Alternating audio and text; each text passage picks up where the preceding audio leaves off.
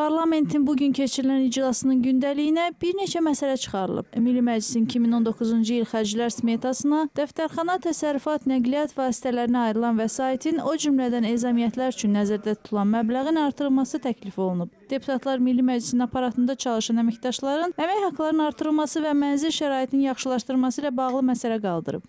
Milli Məclisin işçilərinin əmək haqqları artırılmalıdır. Bizim konstitusiyaya görə Azərbaycanda dövlət hakimiyyəti hakimiyyətlərin bölgüsü prinsipi əsasında həyata keçirilir və burada əgər prezident administrasiyasının əməkdaşların əmək haqqısı qədər olmasa da, heç olmasa ona yaxın səviyyədə də Milli Məclisin əməkdaşları əmək haqqı almalıdır.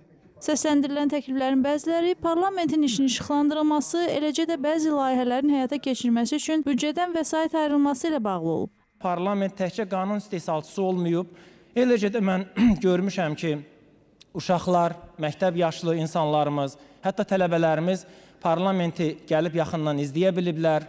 Mən çoxlu sərgilərin keçirildiyini görmüşəm. Parlamentin müxtəlif layihələri həyata keçirilməsi üçün özünün büdcəsində vəsait olmalı. Mən çox arzulayıram ki, bir vaxtlar xarici yardımlar hesabına ə, çıxan Gənclər Parlamenti layihəsini, Uşaq Parlamenti layihəsini Milli Məclisin özü həyata keçirsin.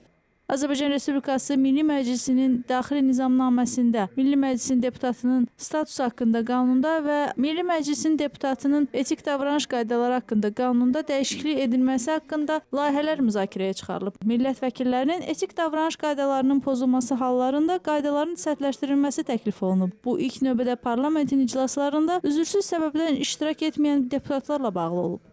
Deputatın fasilədən sonra üzürsüz səbəbdən qeydiyyatdan keçmə, e, keçmədikdə deputat həmin iclasda iştirak etməmiş hesab edilsin müddəası əlavə olunması məqsədə müvafiq olardı. Azərbaycanın üzvü olduğu Avropa Şurasının Qrego təşkilatının tövsiyələri ilə bunu etmişik. İki məsələ orada öz həllini tapır. Hədiyyələr almalarla bağlı və maraqlar toqquşması məsələsi. Xüsusi vurulamaq istəyirəm ki, bu müddəalar korrupsiya qarşı mübarizə haqqında qanunda mövcuddur. Və biz ancaq o bir sıra məsələlərin dəqiqləşdirilməsi və korrupsiya qarşı mübarizə haqqında qanunun bir sıra müddəalarının e, deputatın etik davranış qaydaları haqqında qanuna köçürülməsi ilə bağlı olmuş təkliflərdir. Müzakirələr zamanı deputatın hədiyyə qəbul etməsi məsələsinə də toxunanlar oldu.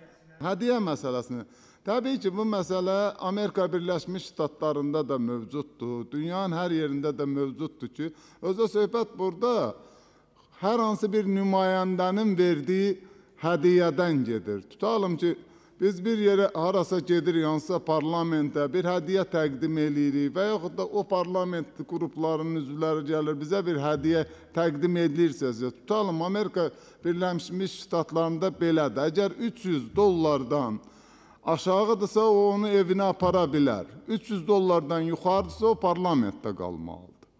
Və bu çox gözəl də ədalətli bir qanundur. Beləliklə Milli Məclisdə 2019-cu ilin büdcəsinin müzakirələri bitib. Büdcə ilə bağlı parlamentin növbəti iclası noyabrın 23-də və noyabrın 30-da keçiriləcək. Nailə Həsənova, Namiq Həsənli, CBC.